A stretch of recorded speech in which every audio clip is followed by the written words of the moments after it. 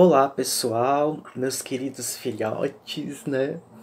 É, nossa disciplina já está chegando com ares de despedida, não é mesmo? Nós já estamos quase aptos a serem grandes teóricos do direito e fundamentadores dessa relação jurídica inicial, desse primeiro contato para com o direito. E nessa disciplina nós tivemos um objetivo principal o objetivo principal dessa disciplina foi proporcionar para vocês uma compreensão do que é o fenômeno jurídico numa perspectiva interdisciplinar, ou seja, relacionando a base teórica do direito com o conteúdo de todas as disciplinas que envolvem esse aprender jurídico, essa compreensão do que vem a ser o direito, desenvolvendo em vocês acadêmicos uma percepção crítica, porém dogmática, fundamentada, desse fenômeno jurídico que é um fenômeno social relacionado às concepções jurídicas e a outros saberes, como filosofia, sociologia, ética, língua portuguesa, dentre tantos outros. Além de desenvolver também algumas condições que permitam vocês diferenciarem o que é dogmática do que é zetética, que é a parte crítica do direito. Eu só posso ser zetético se eu tiver o conhecimento dogmático, se eu tiver o conhecimento crítico do direito. E com isso nós vamos ter uma boa sustentação de tudo que acontece dentro da nossa vida em sociedade. Então, de uma forma ampla, bem geral, esse foi o objetivo dessa nossa disciplina o que é que nós estudamos nessa disciplina, não é verdade? O que é que nós estudamos? Num primeiro momento, nós estudamos o conceito de direito. E se partíssemos do nosso senso comum, nós diríamos que o direito é apenas um conjunto de regras que regula a nossa vida em sociedade. Se eu descumprir, eu vou ser punido, eu vou ser preso. Não é bem assim.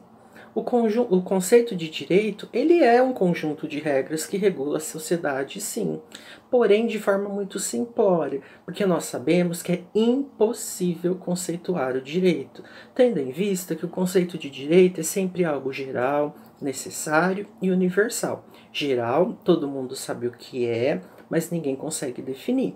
Necessário, Todos nós precisamos dele e universal. Ele vai ser igual aqui e em qualquer outro lugar do planeta, não é isso?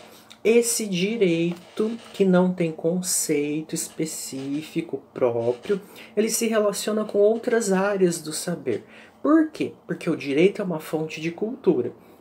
Se a cultura muda, os nossos interesses mudam, o direito tem que acompanhar essa mudança cultural. Essa mudança cultural é fruto de imposições ideológicas de uma cultura de massa que hoje é midiática e que toma conta do nosso dia a dia. E além dela ser midiática, ela é tecnológica. Dentro das 24 horas do dia, nós não conseguimos acompanhar toda essa transformação. Que o direito conseguir acompanhar tudo isso e aplicar as suas leis. Esse direito, ele se relaciona então com a língua portuguesa, com a sociologia, com a filosofia, com a história, com tantas outras áreas, inclusive geografia, história, não é mesmo? Para nós entendermos como era a aplicabilidade do direito em determinados períodos, como se desenvolveu uma lei, por que, que essa lei tem uma determinada existência. Então, o direito se relaciona com outras disciplinas, isso é uma relação interdisciplinar. Vimos também qual é a relação do direito para com o Estado, entendendo o Estado como uma pessoa abstrata que nós, homens naturais, criamos, nós criamos a figura desse Estado, desse ente soberano que exerce um poder supremo sobre todos nós para que ele dite as regras de conduta. E quem dita as regras de conduta, na verdade, somos nós. E nós mesmos nos tornamos vítimas das próprias regras de conduta que nós criamos. Diferenciamos também direito natural de direito positivo, direito costumeiro, direito objetivo e direito é, subjetivo. Direito natural é aquele que vai ser fruto do nosso instinto racional, da nossa razão, que nós também vamos poder chamar de justnaturalismo quando nós formos estudar a filosofia, que vai ser uma teoria que ela busca fundamentar o direito no senso comum. Então é aquele nosso conhecimento de rua. Esse vai ser o nosso direito natural que se nós nos pautarmos dos nossos é, pensadores políticos, nos nossos filósofos e até mesmo nos sociólogos, nós vamos ver que era a guerra do homem contra o próprio homem. O homem agia por instinto e por instinto nós nos aproximamos do outro para conquistar os nossos objetivos. Quando nós conquistamos nossos objetivos, nós vamos guerrear para ficar com aquilo que nós conquistamos. Esse é o direito natural. Direito positivo é aquele que está posto, que está escrito, que está fundamentado, é o direito que nós aplicamos. Direito costumeiro é aquele baseado nos usos e costumes, nos valores morais, na prática constante, reiterada e uniforme.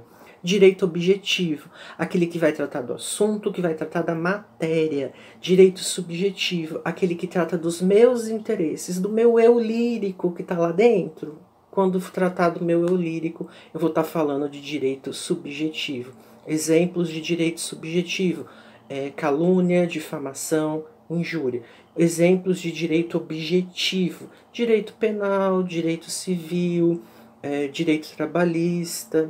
E com isso nós fazemos a diferença entre direito público e direito privado. Toda vez que for de interesse geral da coletividade, nós estaremos falando de um direito público.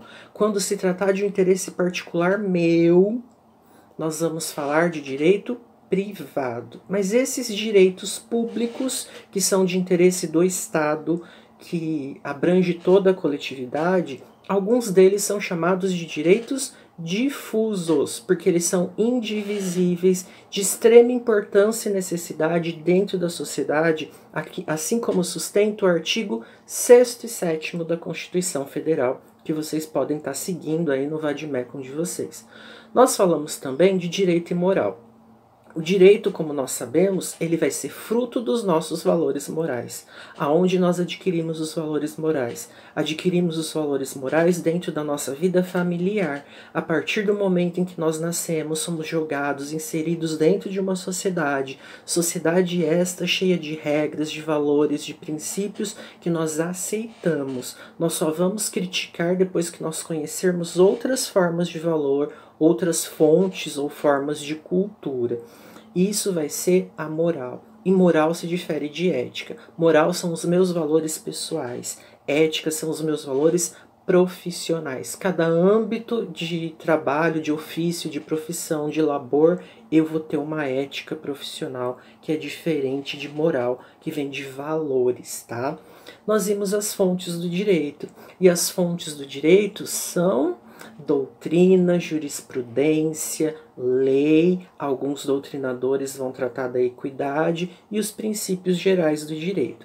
Lembrando que princípio é extrair a essência de tudo que existe de mais importante dentro do nosso ordenamento jurídico. Lembrando que nós temos um ordenamento jurídico e não vários ordenamentos jurídicos. Nós temos um ordenamento jurídico e nós estudamos a teoria do ordenamento jurídico com a figura de Norberto Bobbio. Ou seja, nós estamos inseridos dentro de um sistema, sistema esse dotado de regras, regras que possuem uma hierarquia para serem aplicadas. Voltamos a Hans Kelsen teoria pura do direito, no topo da pirâmide, Constituição Federal, abaixo as normas infraconstitucionais. Primeiro eu aplico a Constituição Federal, depois as normas infraconstitucionais, dentro de uma ordem hierárquica, e é na teoria do ordenamento jurídico de Norberto Bobbio nós destacamos isso